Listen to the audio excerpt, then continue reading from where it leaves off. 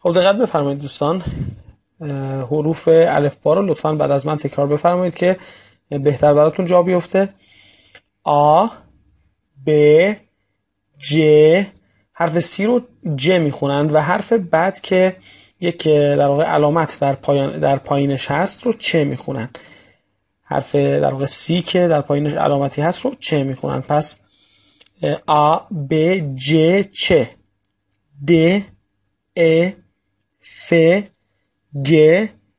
حرف بعد حرف گ که یک در واقع حالت هفت در قسمت بالاش قرار گرفته رو یوموشاک گ میگن. یوموشاک گ یا در واقع گی بی صدا که این رو در مثال ها خدمتون توضیح میدیم که به چه صورت تلفظ میشه.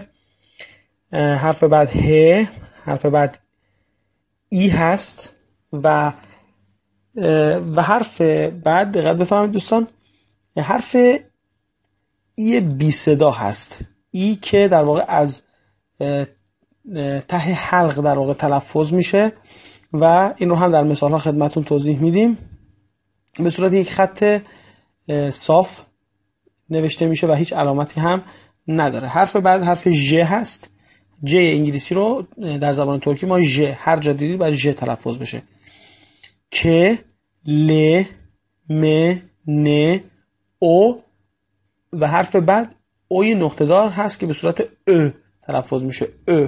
بین ا و او تقریبا تلفظ میشه با غنچه کردن لب. ا. پس او ا.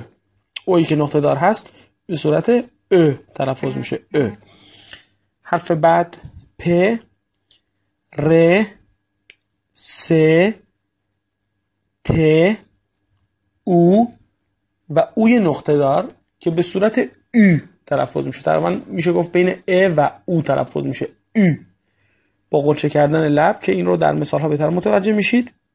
پس او و او حرف بعد حرف و هست و حرف بعد حرف ی و حرف آخر هم حرف ز هست. دقت کنید دوستان حروف Q W و X در زبان ترکی کاربردی ندارن و اصلا در زبان ترکی این سه حرف وجود نداره. ممکنه مگر که در کلمه یک کلمه که انگلیسی باشه به همون صورت در ترکی نوشته بشه و مثلا W و X داشته باشه یا Q.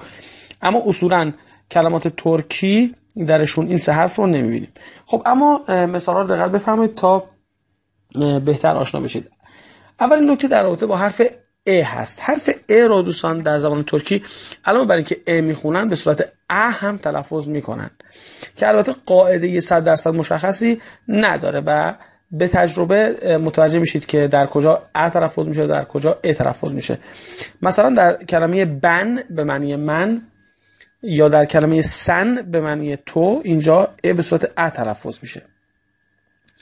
خب برای حرف ج مثال زدیم کلمه امجا امجا به معنی امو هست که در واقع اینجا می‌بینید حرف ج رو همون حرف سی انگلیسی که ج تلفظ میشه. یا برای حرف چه که در واقع سی انگلیسی که در گفتیم در, در پایینش یک علامتی وجود داره شبیه پنج انگلیسی اینو چه تلفظ می‌کنن؟ مثل چای.